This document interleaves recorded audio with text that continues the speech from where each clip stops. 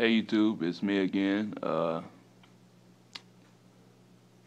I just tried this new drug that's been going around. That's why I'm kind of laying on the floor. But uh, it's really addicting, and kids are really getting involved in doing this. Help them watch out. Uh, they're doing it in high school, grade school. That is grade school. See, that's the problem that with me now. I'm I'm just I'm just on it, and, and it fucks up your head, kills brain cells. But they're doing it in preschool, high school, college, just everywhere. And it's where they sit down purposely. I catch a few of them in bathrooms where they're just sitting down. And they stand up real fast just to get that that high. I like to call it. It's very dangerous because they can fall out or or even just black out.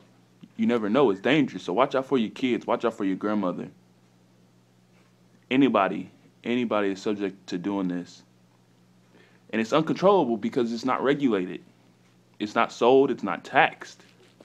So what are we going to do, America? We're going to have to stand up for each other.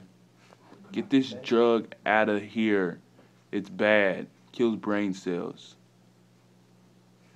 Watch out for the ones standing up too quick. Have them sit down. Have them sit down. Watch out for the kids in the bathrooms, at the parks. Friends are doing it everywhere in groups.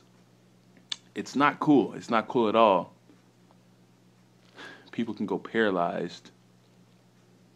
Just watch out for your family. Much love. Road to 100,000. Yeah.